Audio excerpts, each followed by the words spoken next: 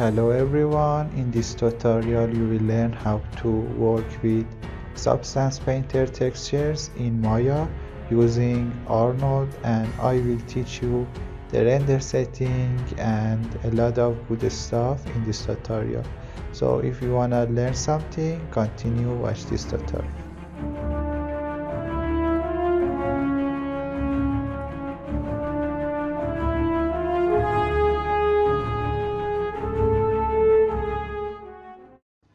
So before we go to Maya, let me show you how I export my material in Substance Painter. Just go to the file here in export texture. Here you can select the location that you want to um, save your textures.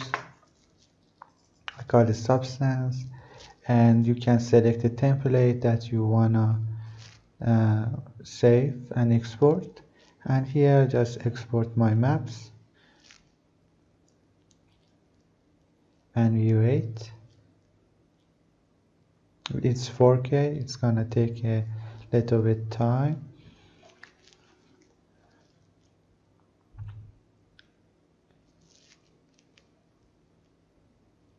Alright just open it. Here I have my base color normal map and roughness map and everything I need to use in Arnold so let's go to Maya here I have a very simple scene.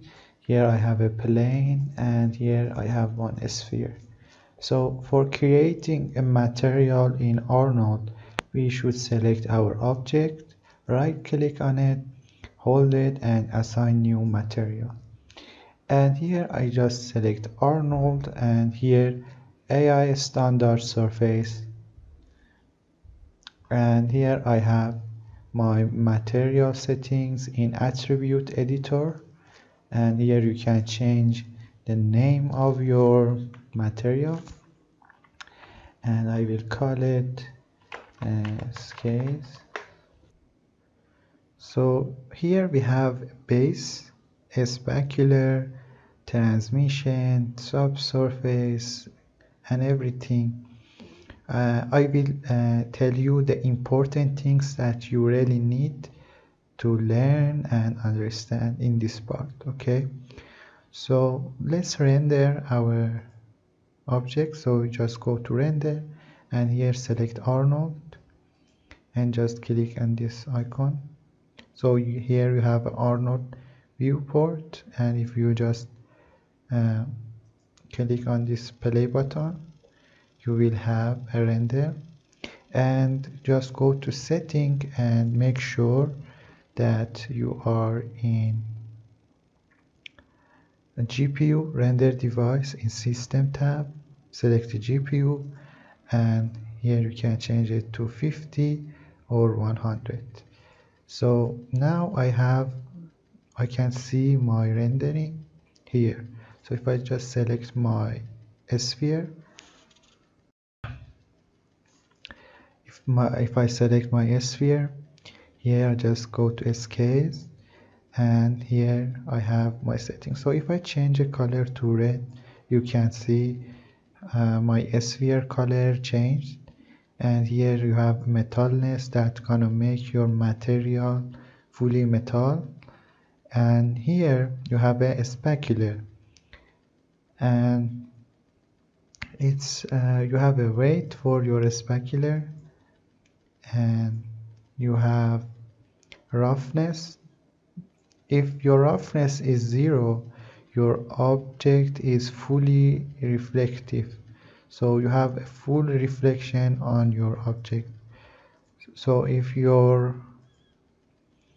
uh, object don't have uh, glossiness it's fully roughness. So if I change the roughness to 1 I don't have a reflection anymore so it's a rough specular on my object. So I change it to 200 0.200 and here I change the metalness to 0 here you have IOR for your reflection. So uh, what is IOR exactly? It's a intensity of your reflection on your object. So if I have a IOR 1000, you can see I don't have a lot reflection on my object. So if I change it to 1.800, you can see the reflection is sharp if I change it to mm, something between that I have a less reflection that when I go down you can see I lose my reflection here. So this is a intensity of your reflection on your object okay? So here you can change uh, rotation for that and these are not important. And here the very important one that we use in this tutorial is a geometry tab. So here you can import your normal map and you can use the normal map for your object. So uh, here in the bump mapping you have an icon like a checker. Just click on it and select the file. And here you can change the use as to normal map. And if I click here uh, I can select my normal map here just click this folder and come to your substance that you export your maps. Here I just select the normal. And here you can see I have my normal maps here. Just uh, change a color space to raw and that's what you need to do for the normal maps. So that's it guys you can come back if you click here. Just go back. And let's bring our texture that we exported in substance and shade our scales so if I click on this checker here I can select the file again and I can bring my base color for uh, this object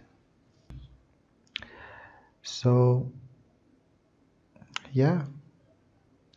Uh, just wait. It's gonna take a little bit time. So I have a lot of glossiness on this object. So we have a roughness map also.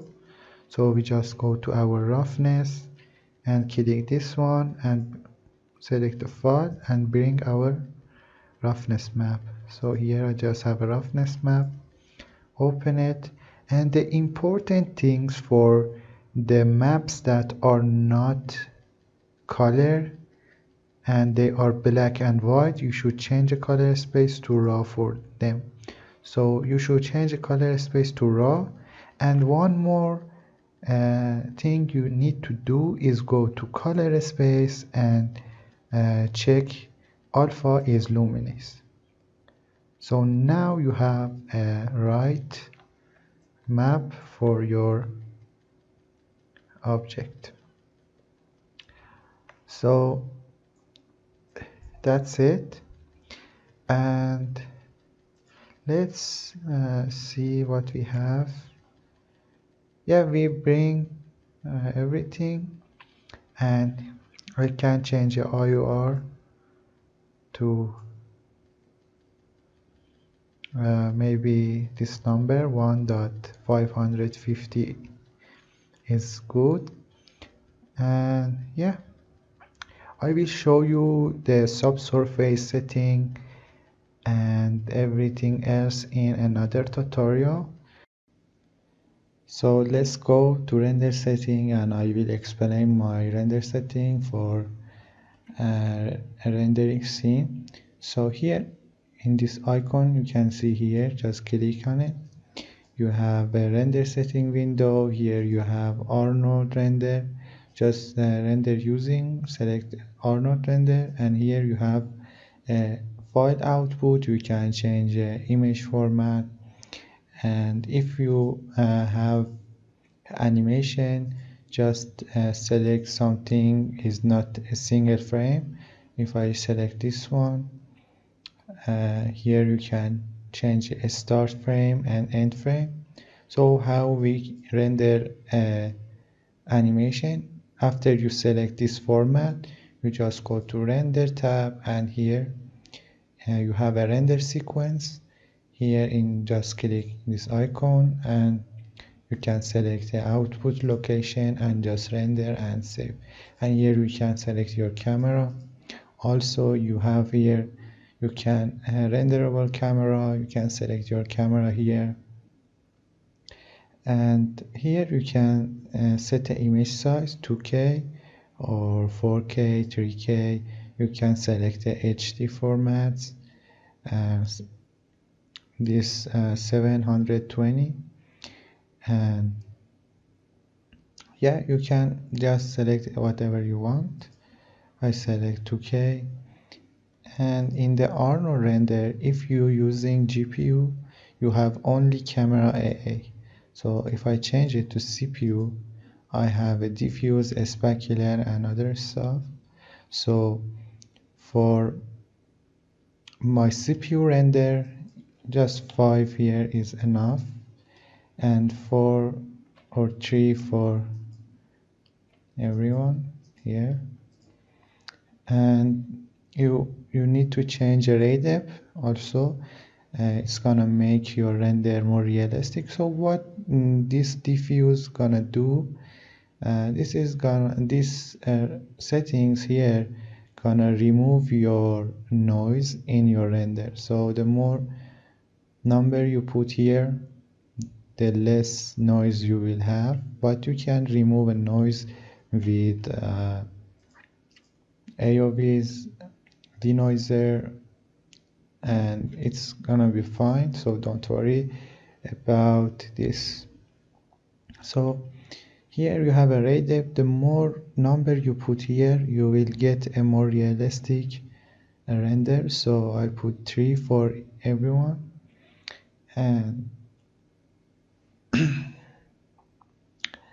uh, here if I select a GPU it's just the same but you should put more uh, number here like uh, 30 or 50 something like that. But I render with CPU it's my CPU is better than my GPU so I just render it with my CPU so yeah guys that's it for the render setting. Arnold is very easy to use and that's all you need to know about render settings. So here you just go to Arnold tab and open Arnold render view. So here is our render view and uh, we need to do some settings. And here in the view tab you just go to test resolution and make sure your test resolution is 100% and here in the render tab make sure your progressive refinement is disabled. And here uh, select none for save trees and just you need to use all your CPU so yeah guys that's all you need to do for the render. And here you just press this play red play button and just wait for your render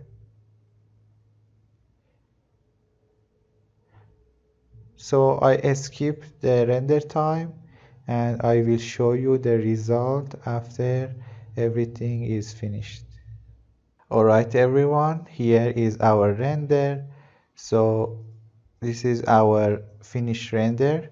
Here as you can see I have a little bit noise. You can remove it. Just select the denoise AOV and here you have a very clean render. so if you are looking for a texturing, shading and rendering tutorial, here is my tutorial in CubeBrush. You can come here and check out. I will teach you how to create this realistic skin for your characters. I also teach you how to create thin hairs on the face using Xgen. I will give you this model and everything you need to learn I will teach you in this uh, tutorial. And yeah guys i will put a link in the description down below. You can come here and check out this tutorial.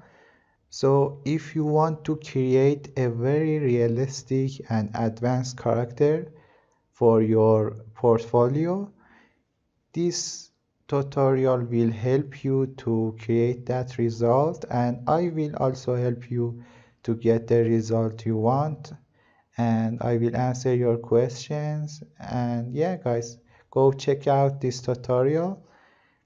And Cube Brush have a 20% off for uh, I think this week. And yeah just go and use this code for this tutorial and get the 20% off for this tutorial. Have a great day take care. Goodbye